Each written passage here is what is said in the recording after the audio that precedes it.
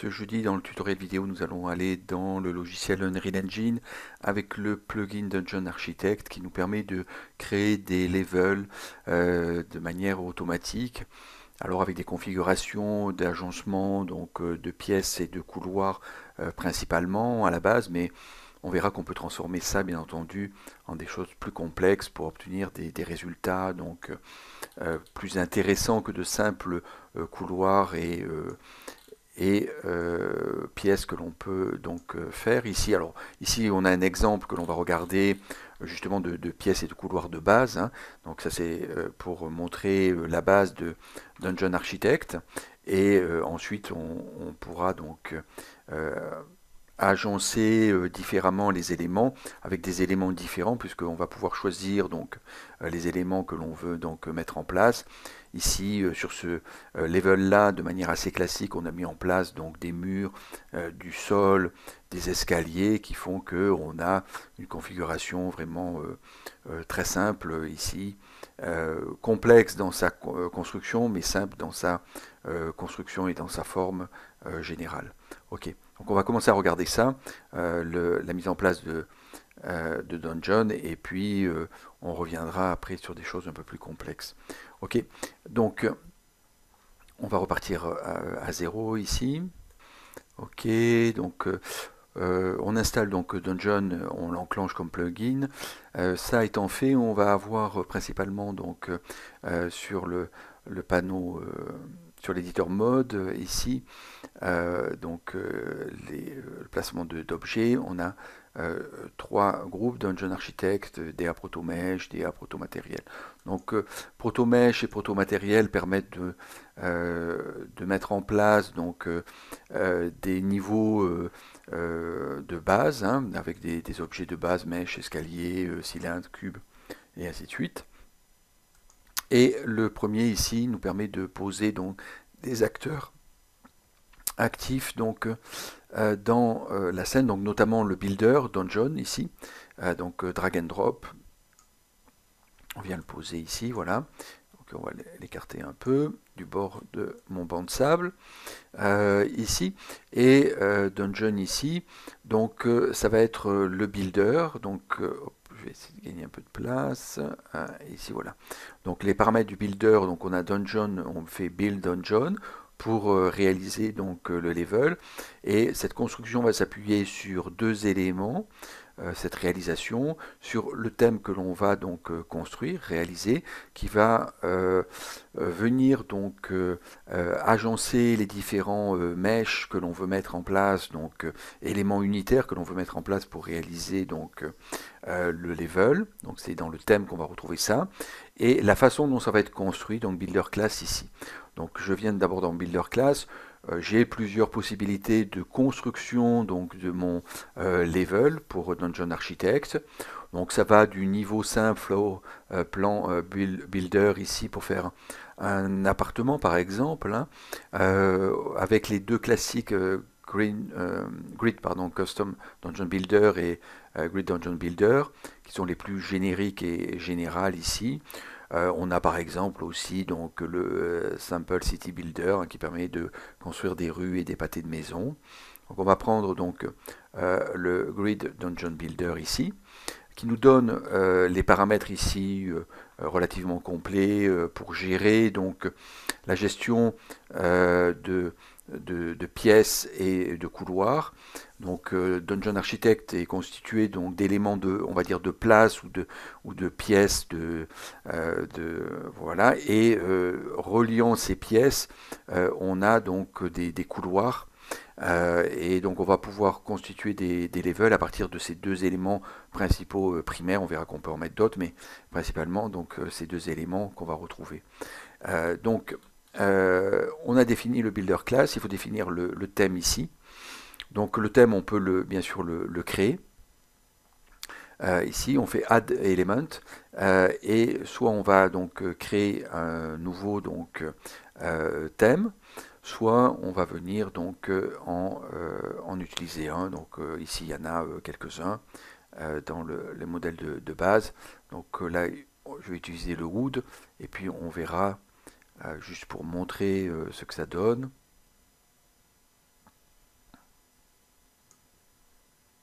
Ok, donc Wood sélectionné ici dans la liste. Euh, donc on a un thème et on a une façon de construire. On a des paramètres ici pour l'instant par défaut et on fait build dungeon. Ok. Et voilà ce que l'on obtient ici. Donc on voit que les éléments, on a des motifs de répétition qui sont ces fameux mèches euh, que l'on va retrouver donc dans euh, la thématique. On voit, alors les, éléments ne correspondent pas, c'est par raccord, mais tant mieux. Ça nous permet de voir effectivement un peu le, type de construction que réalise Dungeon Architect, c'est-à-dire des, éléments donc euh, euh, parallépipèdes qu'on appelle des, des, rooms, hein, euh, largeur, longueur qui peuvent être différentes, qui sont reliées les unes aux autres, soit directement, soit par des couloirs, selon la proportion que l'on veut donner à chacun. Voilà sur ce modèle de, base ici. Ok. Ok. Donc on va avoir les paramètres. Alors on va venir sur le thème tout de suite ici. Euh, donc, euh, encore une fois, on peut réaliser un thème, soit en prendre un euh, existant. Donc, pour réaliser son propre thème, on fait bouton droit à la souris, Dungeon Architect, Dungeon Theme ici. Et donc, on met donc bois 2 par exemple pour continuer mais en français ici et on va ouvrir donc un panneau euh, qui est composé donc euh, euh, de la constitution du thème, composé donc de ce qu'on appelle des marqueurs. les marqueurs ici permettent donc de alors ce qu'il faut voir, c'est que la construction donc de Dungeon Architect ici est composée de de cellules. Donc on a le, dans les paramètres, on a le grid cell size ici, 400, 400, 200 sur les trois axes. Donc en fait c'est un ensemble donc, de, euh, de, cellules en trois dimensions, donc un volume, euh, une cellule, euh, sur lequel on va pouvoir mettre des mèches principalement, mais d'autres choses on verra aussi, à l'intérieur de chaque cellule. Donc un, deux, trois, plusieurs mèches qui vont composer cette cellule. Cette cellule va se répéter, qui va être différente de celle à côté par exemple, et ainsi de suite, avec des valeurs aléatoires éventuellement. Donc on voit bien ce, quadrillage de cellules ici, hein. ça tombe bien que ça n'a pas la bonne taille au, démarrage. Ça nous permet de bien voir ce quadrillage de, cellules. Et ces cellules donc ont chacune un marqueur qui les définit. Donc ça peut être, euh, la cellule peut être ground, euh, peut avoir un, marqueur ground, un marqueur wall, euh, un marqueur stair, donc escalier, et ainsi de suite. Et ces marqueurs-là, euh, qui sont euh, générés automatiquement quand on build donc le, euh, le niveau avec la fonction build, vont être repris donc dans le thème, ici, ground, wall, stair, et on va pouvoir donc leur associer à ces marqueurs qui sont signifiés donc dans le euh, dans, la, construction, on va pouvoir leur associer des mèches. Donc je tire sur ground par exemple et je fais donc add mesh node. On voit qu'on peut rajouter euh, plusieurs choses, actor, mesh, particle system même euh, et des lumières, point et spot.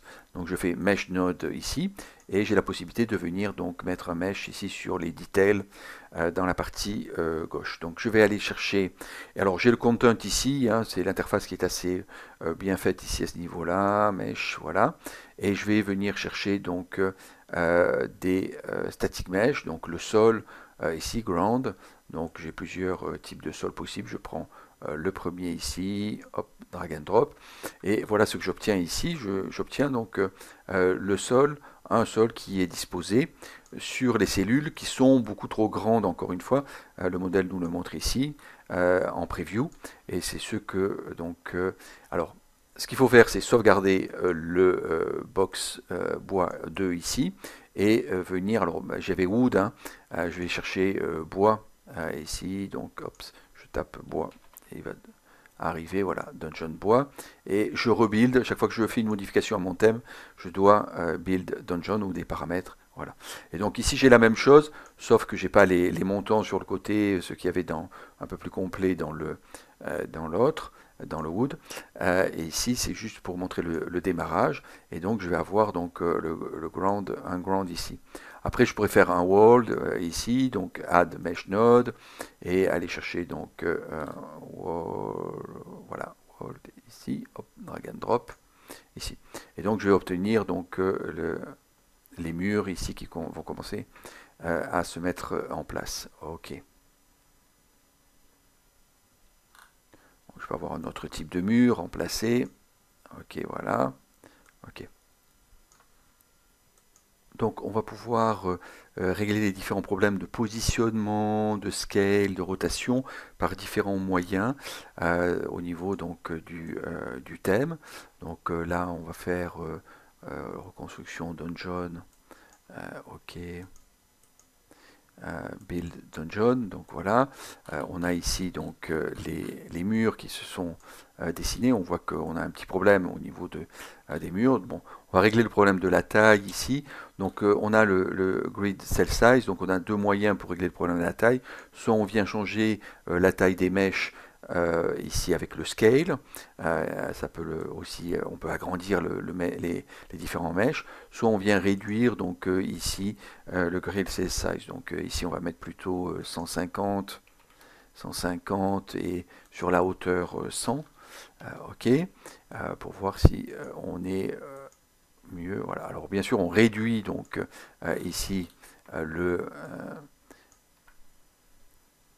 euh, on réduit donc le, la taille générale, mais on voit qu'on est, on est mieux en termes de continuité. Donc je remonte mon dungeon ici pour le, sortir de l'eau, entre guillemets, voilà. Et on pourra ajouter des, les pilotis euh, comme dans la version euh, finale. Donc euh, ici, on a le sol. pour faire donc les murs, on voit qu'on a un problème donc de d'orientation donc des, murs hein, ici maintenant. Et donc on va venir plutôt donc là on peut plus rien faire au niveau cell size. On va venir plutôt donc ici on va mettre force rebuild ici. Ok voilà. Et on va venir donc euh, euh, ici reconstruire, enfin euh, déplacer donc le, le, le, en rotation le mur, donc 90, ok, ici. Donc c'est dans l'autre sens, ça c'est déjà mieux. Ok, on va sauvegarder. Ok, donc ici updater ici. Ok, et puis on voit qu'on a un décalage. Hein, euh, ici, donc euh, on va rentrer donc 90 euh, et un, décalage sur le, location ici, donc on essaie 50. Voilà, ici à ce niveau-là, 70. Voilà, et on va recaler comme ça donc le l'élément ici. Ok. Voilà.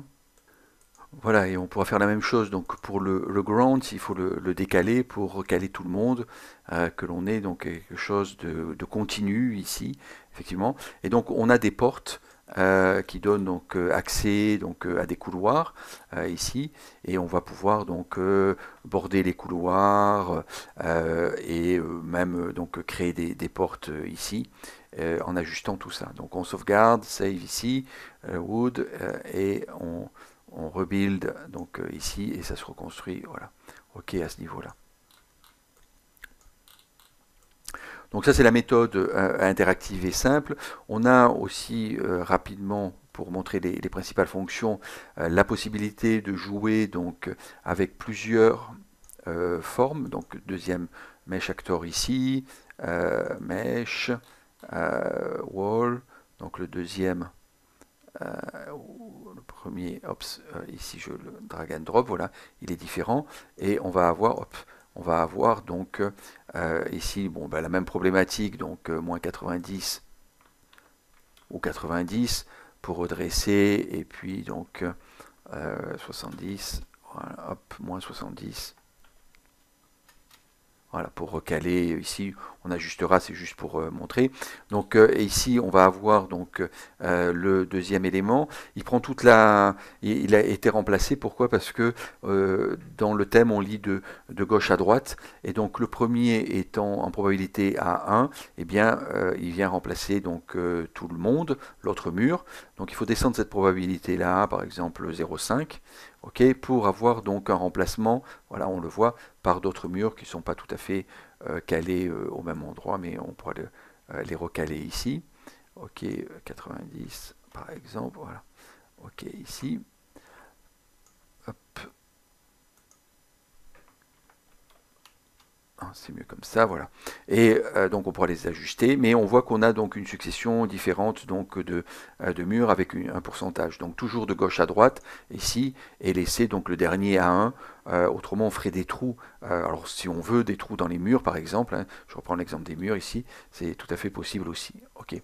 Donc une autre façon de, de procéder, c'est d'utiliser donc la euh, des euh, transformes logiques ou des sélections logiques euh, ici pour dire par à l'aide d'un blueprint où on veut positionner telle mèche du, mur, du ground et ainsi de suite. Et donc on va pouvoir utiliser donc ces différentes possibilités logiques ici, donc use sélection logique si on veut donc euh, une sélection logique. Et à ce moment-là euh, il faut sélectionner donc euh, ici une sélection logique un blueprint. Soit il a été créé soit on, le crée.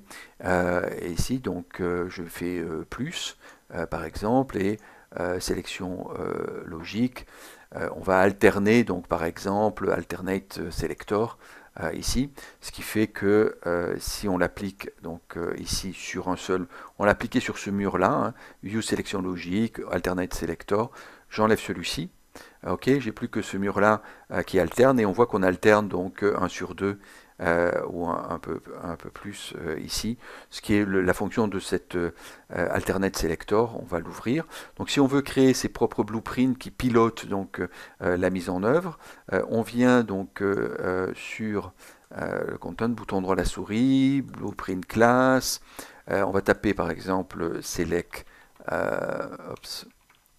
select, Ok, John Selector logique ici, on retrouve donc euh, ceux qui sont déjà euh, prédéfinis. Ici, je prends celui-là, select, euh, ici, donc je fais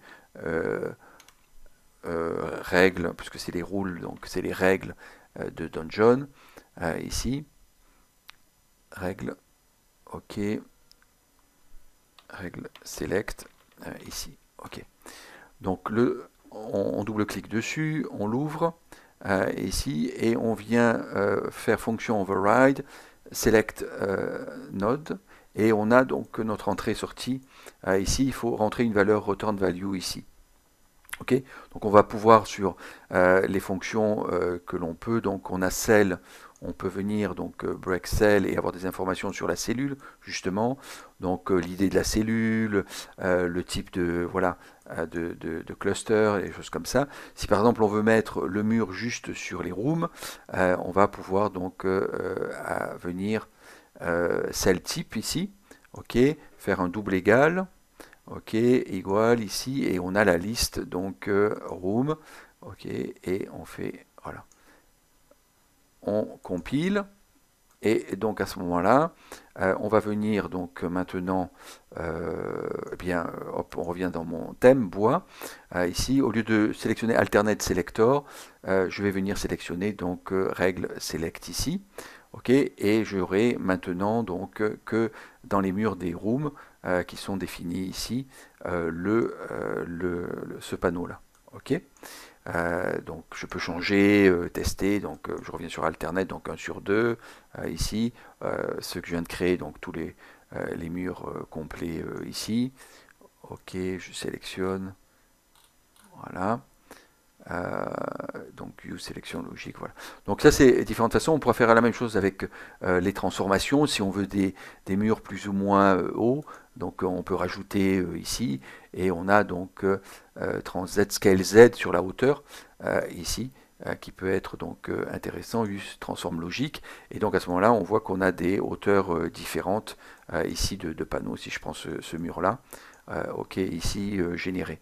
Donc si je retrouve le BB Transcale, juste pour terminer, pour voir comment il est, on va le retrouver ici. Et donc là, on n'est pas sur un scale, sur un euh, sur une sélection select node return node euh, comme on, a sélectionné donc euh, alors toujours pareil pour recréer donc un, blueprint class il faut bien le sélectionner donc trans ici et venir sur grid dungeon transform logique et non select logique de la manière d'avoir la fonction déjà prédéfinie donc select ici ok on va enlever ça pour l'avoir OK. Et donc à ce moment-là, ça nous donnera euh, le, euh, on vient appliquer la fonction override et on aura getNode offset et returnNode. Ici, c'est un offset euh, de décalage et on travaillera donc en conséquence. Donc là, c'est le classique changement aléatoire de, de, taille. On pourra faire la même chose sur la rotation. Donc on a un random float in range ici entre un min et un max ici. Donc euh, min rand max 20, euh, min c'est 5, et on peut changer ces valeurs-là, elles peuvent être euh, les yeux, donc elles sont open ici, on pourrait les, récupérer. Random float in range, break vector donc sur le x, y, z, et on va utiliser le z pour venir le renvoyer sur le scale z, donc make transform ici assez, assez classique. Euh, comme construction donc ici de, euh, blueprint. Euh, on compile ici et on peut donc l'appliquer. Voilà, et on peut changer par exemple rang de min, max, on va mettre 100, ok par exemple, compile, ok. Et je reviens sur bois. Et donc voilà, j'ai des choses qui ont changé, j'ai des choses très grandes, 100, et puis plus petites, donc à 20, ou voilà. Ok, donc ça, euh, on le sauvegarde et euh, ici on va donc euh, l'appliquer, build, et on va retrouver donc voilà les étirements un peu trop maximum ici, j'ai mis 100, mais c'est juste pour montrer que ça marchait, des choses plus petites et ainsi de suite. Ok Donc voilà comment on peut disposer, ce, que je voulais montrer dans ce tutoriel, c'est comment disposer les éléments, les différentes méthodes rapidement parcourues avec cette notion de marqueur dans les, dans les cellules. Bien entendu, on pourra créer ses propres marqueurs. Euh, on pourra imbriquer des marqueurs dans des marqueurs pour, euh, euh, par exemple, sur certains murs, mettre une photo, un cadre ou quelque chose comme ça dans une pièce de manière aléatoire, et ainsi de suite. Donc on pourra complexifier, bien entendu, ce, travail-là. Mais là, c'était pour montrer l'installation de base et la génération donc d'éléments et comment on pouvait les régler donc dans, l'espace, soit manuellement, soit avec des, des, blueprints de sélection, transforme, au moins donc sur les euh, scales, euh, transforme déplacement et, et rotation aussi.